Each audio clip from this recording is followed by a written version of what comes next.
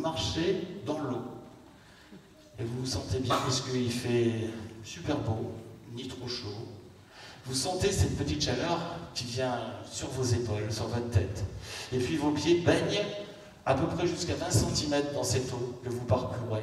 Et vous marchez le long de la plage, le long de la mer. Et puis, vous vous enfoncez de plus en plus dans le sable. Vous sentez que ce sable, il est de plus en plus mou. Et vos pieds s'enfoncent dans le sable. Ce qui est très très rigolo, c'est que c'est de plus en plus difficile pour vous de bouger. Et ça vous fait même rire. Ça vous fait sourire puisque vous allez voir que vos, jambes ont de plus en plus de mal à bouger. De plus en plus de mal à bouger. Vos jambes sont lourdes, très très lourdes. C'est un petit peu comme un sable mouvant, mais vous vous sentez en toute sécurité. Un sable mouvant, mais en toute sécurité, en complète sécurité. Vous vous sentez merveilleusement bien, complètement bien sur cette plage. Vous vous sentez complètement bien sur cette plage, complètement bien, calme, détendu, le corps comme une poupée de chiffon au moment où je prononce le mot d'or.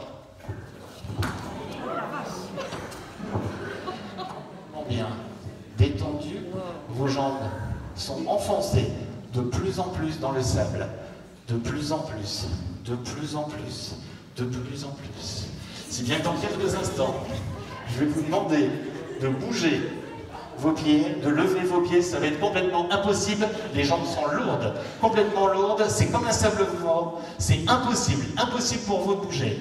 1, 2, 3, essayez de faire un bord d'avant, c'est impossible, les jambes sont fixées, complètement fixées, impossible de bouger, impossible de bouger, impossible de bouger, complètement impossible, allez-y, allez-y, hein. essayez de bouger, et essayez de bouger, c'est complètement impossible, complètement impossible, impossible de bouger.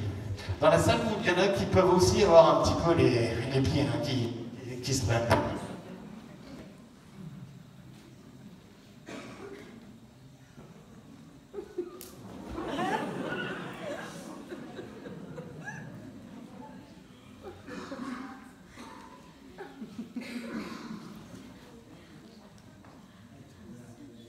Toujours impossible.